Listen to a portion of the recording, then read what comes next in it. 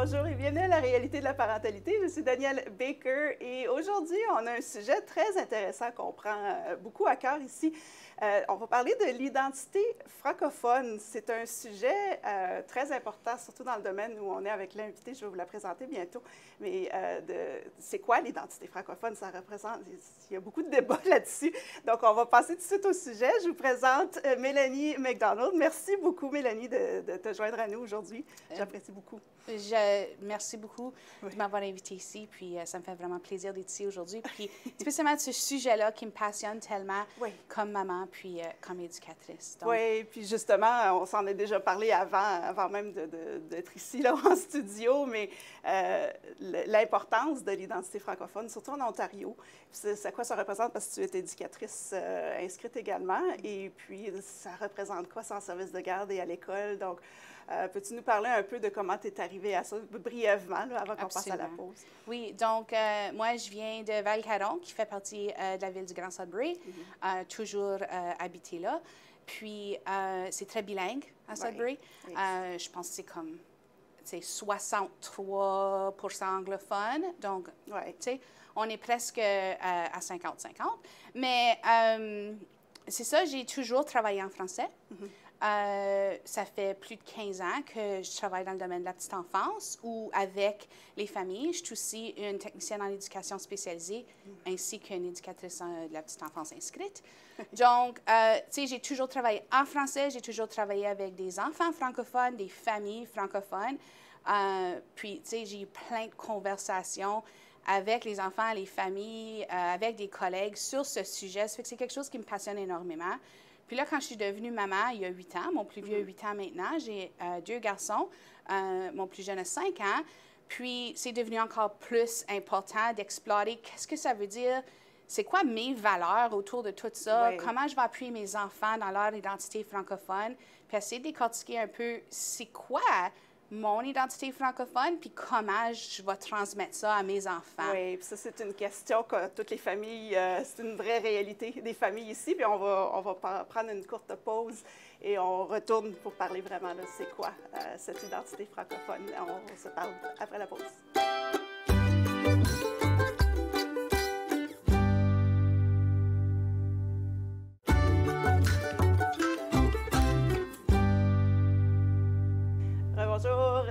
Euh, nous sommes de retour à la réalité de la parentalité. Juste avant la pause, euh, Mélanie nous parlait un peu de ça peut représenter quoi l'identité francophone, surtout en tant que professionnel au travail et, à la maison. Tu as mentionné justement les valeurs. Une fois que tu as tes propres enfants, ça représente, ça change. Là, c'est comme, OK, on, va porter un petit peu plus attention à ça.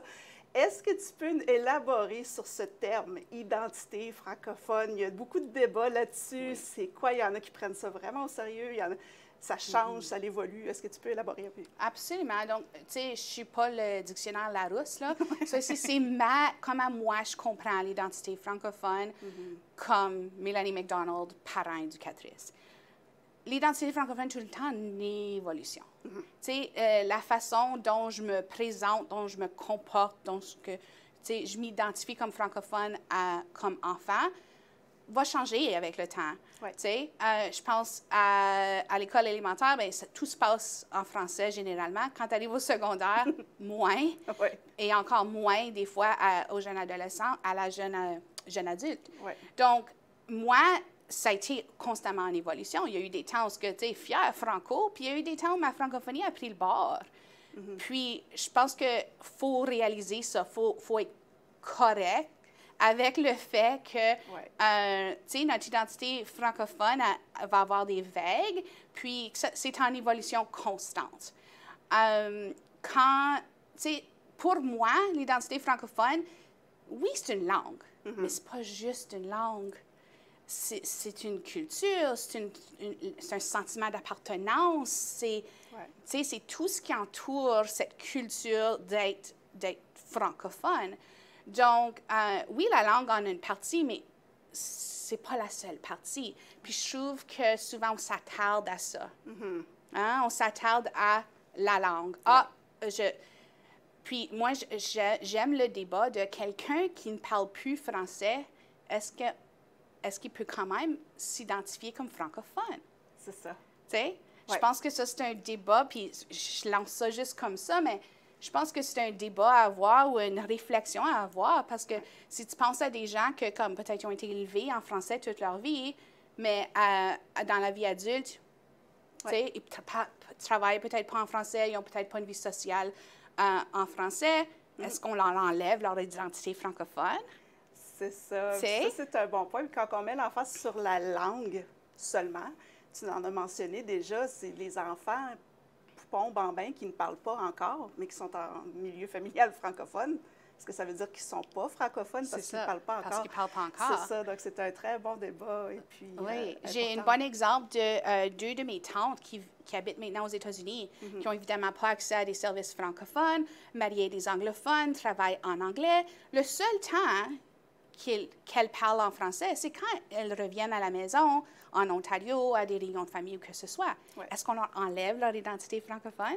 Il n'y a pas juste une façon d'être francophone. Il n'y a pas une bonne façon non plus d'être francophone. Euh, certain que quand je parle, tu sais, moi, je, viens d'une ville très bilingue, je suis très bilingue, ma vie est très 50-50. Euh, donc, je vais lancer un mot anglais ici et là. Mm-hmm. Je suis moins francophone que l'autre? C'est ça. Il n'y a pas une façon. Puis je pense que notre rôle là-dedans, comme parents, comme éduques, c'est de créer un rapport positif mm-hmm. avec la langue et la culture. Oui. Pour les amener à vouloir s'identifier comme francophone. Si c'est pas le fun de mm-hmm. parler français, si c'est pas plaisant d'être dans une atmosphère francophone, je vais la laisser de côté. Oui. Donc, je pense souvent aussi à comment les enfants s'identifient comme francophones, puis comme cette évolution-là. Mm-hmm. Si la seule, le seul temps que l'enfant est exposé au français, c'est à l'école, il va s'identifier comme je suis francophone lorsque je suis à l'école. Mais qu'est-ce qui arrive quand l'école finit?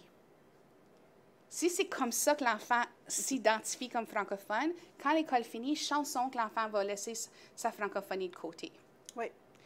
Si ça découle à la maison, dans les sports, dans le social, dans certaines activités, euh, on peut voir, on, on, va voir que l'enfant va continuer à, à développer son identité francophone parce qu'ils ont un rapport dans plusieurs sphères de leur vie, pas juste à l'école, comme exemple.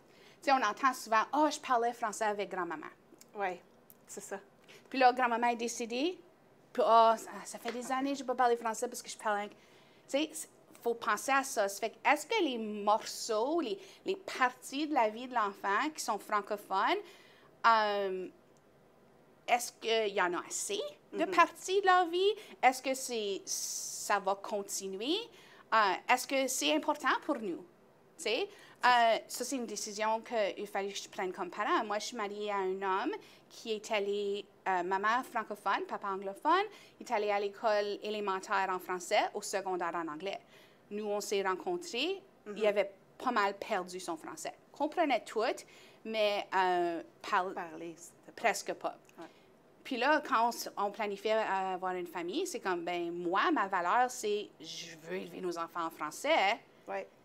Puis il a fallu qu'on ait une discussion de c'est important pour toi? Puis, tu sais, oui, c'était très important pour lui. Puis il a réappris à parler en français avec nos enfants. Mm. Il parle presque 100% en français avec, avec les petits. Mais il faut avoir ces discussions-là, puis il faut te pencher sur les valeurs. Sais, C'est quoi tes priorités? C'est quoi tes valeurs? Est-ce que c'est important pour toi qui parle français 100 du temps? Est-ce que c'est ça que ça veut dire pour toi d'être francophone? Ou est-ce que on peut choisir, puis je vais en parler dans les stratégies tantôt, mais est-ce qu'on peut choisir des temps, des moments des, qui, qui, se passent en français, puis d'autres que, tu sais, je vais laisser aller parce qu'on veut toujours, toujours créer le rapport positif avec la langue. C'est tellement un bon point parce que c'est ça mon, expérience personnelle, c'est tout de suite après le secondaire, j'étais au secondaire en français. Je suis allée à l'université en anglais, je suis emménagée avec mon, mon mari maintenant, euh, qui est anglophone. Donc, tout a tourné en anglais. quand je suis revenue, puis on commençait notre famille, euh, je me dis, il faut que je retourne au français. C'était important pour moi. Donc, les enfants ont appris à parler en français, c'était leur première langue. Mais quand c'était temps de retourner au travail, c'était ma belle-mère qui s'occupait des enfants. Là, elle ne comprenait pas ce qu'il lui disait. Donc, j'ai réalisé que fallait que je fasse un changement, ça évolue que j'ai trouvé une autre façon d'incorporer la francophonie dans la vie familiale, mais que je ne coupe pas le contact avec l'autre côté de la famille. Donc, c'est de trouver cet équilibre-là. Oui. Puis, comme tu dis, les valeurs sont si importantes. Parce que des fois, on veut tenir trop fort. Mm-hmm.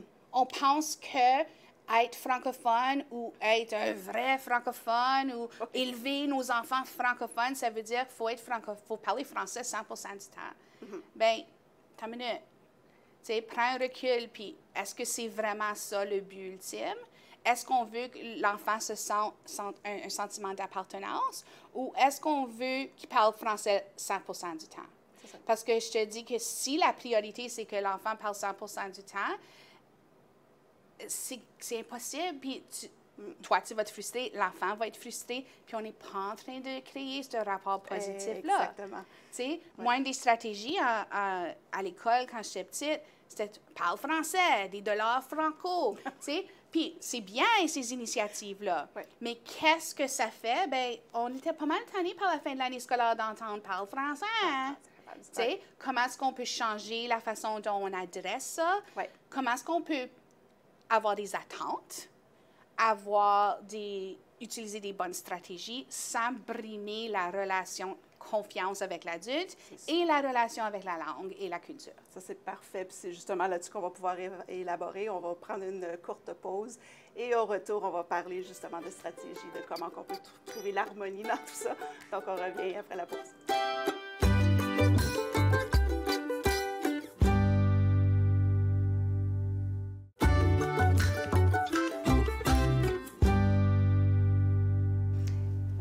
Bonjour. Nous sommes de retour à la réalité de la parentalité. Et juste avant la pause, on parlait un peu là, les grands débats de c'est quoi l'identité francophone et qu'est-ce que ça représente? Selon nos valeurs. C'est vraiment individuel, c'est unique et ça évolue. On en a parlé. Euh, et puis, on parlait justement là, comment est-ce qu'on peut, une fois qu'on décide pour nous c'est quoi, comment ça, de quoi ça va avoir de l'air pour notre famille ou dans notre quotidien, quelles sont des stratégies qu'on pourrait euh, incorporer mm-hmm. euh, pour euh, avoir cette euh, approche-là dans, notre quotidien. Oui, absolument. Puis je pense que, tu sais, on a tous les deux identifié qu'on était dans les couples exogames. Euh, tu sais, un parent franco, un parent anglo.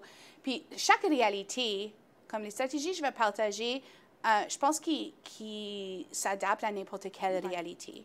Parce que oui, c'est la réalité d'un couple exogame, mais avec toutes les influences anglophones qu'on a autour de nous, euh, on le sait là, que c'est comme, euh, un peu difficile euh, d'incorporer tout ça dans nos vies de tous les jours. Donc, j'ai, j'ai pensé à des petites stratégies qui sont quand même assez faciles à incorporer dans nos vies de tous les jours, puis que tu peux incorporer à n'importe quel niveau que tu vois serait adaptable et, bien, qui, qui fait bien dans ton roulement de tous les jours, dans ta petite routine. Mais euh, une des stratégies que j'ai développées, euh, c'est grâce à mon fils. Euh, l'été passé, on était, on s'en allait à une réunion de famille. Puis, tu sais, l'anglais était fort. Là. Il venait juste de commencer à vraiment s'exprimer en anglais régulièrement. Puis, il aimait ça. Mais là, on s'en va en réunion de famille. Puis, nous, en réunion de famille, en famille, généralement, ça se passe en français. Puis, je voulais pas passer une fin de semaine frustrée puis faire le chiolage de parle-moi en français. Ça fait que j'ai eu une conversation avec lui. Puis je pense que, tu sais, je parlais de créer un rapport positif. C'est ce genre de conversation-là qui va créer un rapport positif. Donc j'ai dit, je veux que tu me parles en français. Qu'est-ce que je peux faire pour te rappeler? Puis là, il était comme, j'oublie juste, maman. Oui, je sais que tu oublies, mais comment est-ce que je peux te faire un rappel? Sans que je me frustre, sans que je dise parle-moi en français, parce que c'est une, une exigence. sais. Je veux m'éloigner de la discipline, je veux pas que ce soit négatif, mais c'est une exigence. Donc, euh, il dit, ben quoi si tu me fais un signe? Donc, on a choisi comme ça. Euh, puis, ça fait, ça c'était l'été passé, ça fait, ça fait plus d'un an qu'on utilise euh, cette stratégie-là. Puis, j'en ai parlé juste avant de venir ici parce que j'ai dit, ça fonctionne ça encore notre stratégie? Il dit, ben oui. ça fait que j'ai dit, OK, ben je vais, je vais partager ça. Mais c'est ça, essentiellement, quand que je vois que, tu sais, l'anglais est. Il, commence à me parler en anglais, puis je préfère qu'il me parlerait en français. Je fais juste mon petit signe, tu sais. Puis tout de suite, ça fait un petit rappel. Puis j'ai pas besoin de rien dire, j'ai pas besoin d'être frustrée, c'est pas négatif, c'est pas. Ça fait une stratégie pour juste faire le rappel. Oui. Um, une autre chose, c'est, tu sais, si on veut créer un rapport positif, faut pas corriger. C'est pas, c'est pas une window, c'est une fenêtre. Ben, tu sais, ça devient tannant. Puis on est en train de encore créer ce rapport négatif-là. Au lieu, ah, tu vois quelque chose par la fenêtre, juste de répéter, utiliser le, beau, le bon mot français, ouais. peut-être le réutiliser à deux ou trois reprises pour que l'enfant, tu sais, apprenne le mot et échange. Mais euh, corriger, c'est pas, c'est pas la façon qui va développer ce rapport positif-là. Euh, si c'est si vous êtes au début, tu sais, nous, au début, quand Sean commençait à apprendre, réapprendre à, à- à parler en français, euh, on se bloquait des temps. Comme le souper, ça se passe en français. Tu sais, il y a aussi des langues de relation, certains sujets, certaines, euh, certains temps, certains lieux qui peuvent, tu peux délimiter. Ah, quand on est, je sais pas moi, au chalet, ça se passe en français. Ouais. Quand on est euh, en famille, ça se passe en français. Quand on fait, euh, je sais pas moi, un- une soirée de jeu en famille, Ça se passe. ça se passe en français. Donc, tu peux choisir des petits temps. Ça n'a pas besoin d'être le français 100 du temps. Euh, c'est comment on peut l'incorporer, puis comment on peut rendre ça le fun. Tu sais, Ils ne voudront pas s'accrocher à leur identité francophone si ce n'est pas une expérience positive. Donc, il faut être modèle de ça Oui. ça m'amène tout à faut être modèle de c'est quoi vivre une identité francophone? Si c'est quelque chose qui est important pour toi, si c'est quelque chose qui est important pour ta famille, tu dois être modèle de ça. Puis, euh, tu sais, en écoutant la musique francophone toi-même, en t'exprimant en français, en, euh, euh, tu sais, mettre des limites toi aussi. Quand ça se passe en français, quand on a dit en famille que ça se passe en français, ben ça devrait pas être toi là, qui est la première qui, tu sais, juste ça. agir à titre de modèle, puis euh, participer dans des activités communautaires, utiliser les services, juste t'ancrer là-dedans.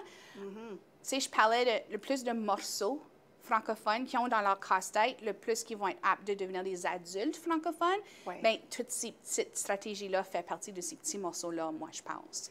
Oui, puis c'est important, juste des petites choses comme tu dis, puis ils ne nous écoutent pas, ils nous observent. Donc, C'est ça. comme tu dis, si on, on insiste, il ne faut pas qu'on soit les premiers à craquer. Mais ça. même aussi quelque chose aussi simple que quand on va au euh, magasin, de parler en français, parce que souvent, surtout en Ontario ou même ici à Ottawa, on va automatiquement commencer à parler en anglais. Mm-hmm. Mais moi, j'habite dans la région d'Orléans où ce que c'est très- c'est beaucoup plus francophone. Euh, la majorité des gens qui travaillent dans les magasins sont francophones. C'est juste de, commencer, de dire bonjour. Ou, euh, c'est juste ça, déjà, les enfants voient là, le rapport, puis ça peut faire euh, une grande différence. Donc, je pourrais parler de ça toute la journée. On va prendre une courte pause. Et au retour de la pause, on pourra élaborer encore plus là, sur des stratégies, comment vous aider, puis comment vous pouvez euh, incorporer ça dans, dans la vie de tous les jours. Donc, on, on se revoit après la pause.